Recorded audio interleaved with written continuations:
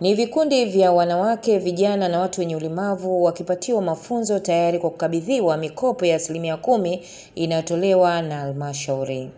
Akizungumza na vikundi hivyo, mstahiki meya wa jiji la Tanga brahman shlo amewataka wanavikundi kurejesha mikopo yao kwa wakati. Halmashauri ya jiji la Tanga imejikuta sasa imetoa mikopo zaidi ya vile ilivyokuwa imepanga. Maana yake imetoa mikopo, imetoa na marejesho, jumla imetoa bilioni mbili milioni themanini na nane na laki tano na thelathini. Katika mwaka wa fedha ishirini na moja ishirini na mbili tumetoa bilioni mbili milioni themanini na nane laki tano na thelathini elfu. Maana yake imeongezeka zaidi ya bilioni moja tena kwa ajili ya yale malipo.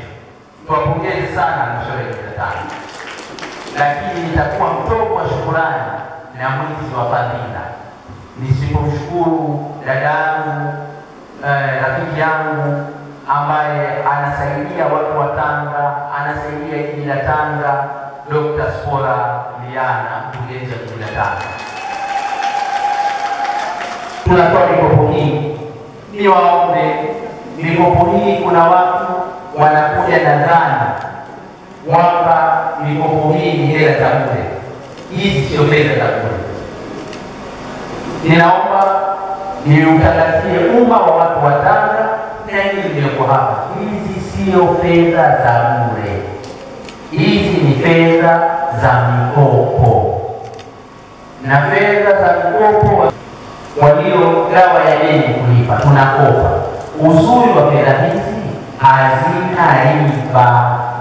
Simon Mdende ni afisa maendeleo wa jiji la Tanga. Ameeleza kwa mwaka 2021-2022 walivyofanikiwa kutoa mikopo na marejesho jinsi yalivyo mpaka sasa. Katika siku hii ya leo tumetoa mikopo kwa vikundi Mkija ofisini kuleta barua za kutoa fedha benki na hizi barua za kukiri mapokezi, kila kikundi kije na faili lake. na vikundi sita vya vijana kikundi milioni tatu. Hii barua na zile barua za milioni nyewe mna na mihuri, ile mihuri Jumla yake ndio ni shilingi milioni nyuma, kila saba. karatasi. Ah, sasa kwa mwaka mzima sasa. kupata hesabu kwa mwaka mzima kwa sababu tunatoa kwenye karo robo ya kwanza ndio milioni mia tatu thelathini na tatu. ya robo ya pili tukatoa milioni mia tatu mia tatu sabini na nane na tano na thelathini tatu tukatoa bilioni moja. Na robo hii sasa tumetoa milioni hii ni robo ya nne imechelewa kwa sababu tumeweza tumeanza kutumia mfumo. Mara kwanza tulikuwa tutumie mfumo lakini mfumo kwa hiyo tukajisajili upya kwenye mfumo. Mfumo wenyewe unaitwa 10% loan management information system.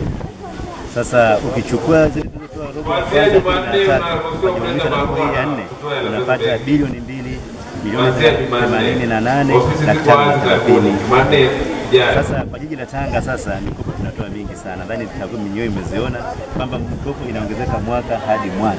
Ukichukua miaka mitatu ya nyuma 2019 20 tulitoa milioni 850, tukaja 2020 21 tumetoa milioni 943 na laki tano. Tumekuja sasa 21 22 tumeenda kutoa bilioni mbili milioni 88 laki tano na 30 lakini pia sio kutoa tu mikopo, bado tumejipanga kama halmashauri kufanya ufuatiliaji kwa ajili ya marejesho, na marejesho yanarudi vizuri sana. Miaka ya nyuma tayari tuko kwenye zaidi ya asilimia 90 ya marejesho. Nao wanufaika wa mikopo hiyo wakamshukuru Rais Samia Suluhu Hassan kwa kuwapa mikopo itakayowasaidia kujikimu kiuchumi. Mara ya pili kupata mkopo huu. Mara ya kwanza tulikuwa tuna mtaji wa milioni moja na laki tano ambao tulizipata kutokana na mchango wanakikundi wenyewe ambao tulichangiana kila mmoja laki tatu mpaka tukapata milioni moja laki tano. Lakini kwa kuwa mtaji ulikuwa mdogo, tukaomba mkopo kwenye halmashauri ya jiji milioni ishirini. Zitusaidia katika biashara yetu pamoja na kilimo. Baadaye tulirejesha pesa zile kwa wakati, tulirejesha ndani ya miezi saba tu, kutokana na faida, yani mzunguko tuliofanya ndani ya miezi saba tu tukakamilisha pesa. Tumerejesha mkopo wa milioni ishirini na tukabakiwa sisi wenyewe na kumi na mbili kama faida. Baadaye tumeomba tena mkopo kwa mara ya pili, ambao ndio tumekabidhiwa leo. Shilingi milioni arobaini.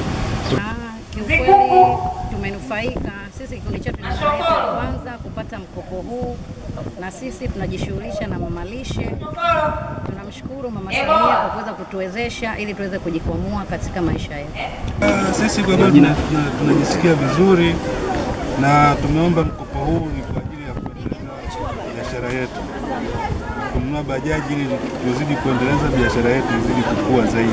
Halmashauri ya jiji la Tanga inaendelea kuhamasisha vijana pamoja na watu wenye ulemavu kujitokeza kwa ajili ya kuchukua mikopo. Amila Chaula, Tanga TV.